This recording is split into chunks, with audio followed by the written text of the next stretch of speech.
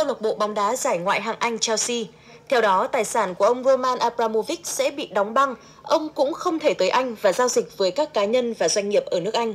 Được biết, lệnh trừng phạt đưa ra nhằm phản đối chiến dịch quân sự đặc biệt của Nga tại Ukraine. Trước đó, vào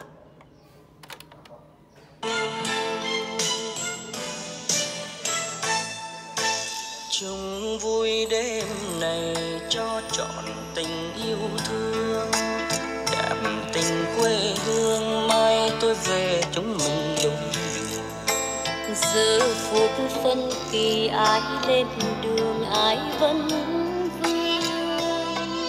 Mình thương thương nhau trong đời, thương nhau trong lời yêu nước Việt mà thôi. Xin nhớ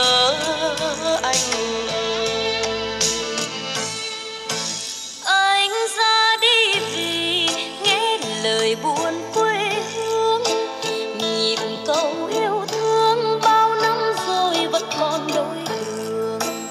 Từ giã phố phường anh lên đường không vẫn vương. Hỏi anh bao nhiêu thu rơi biên cương xa vời mơ ước gì hỡi lòng trai. Sông nối chia phôi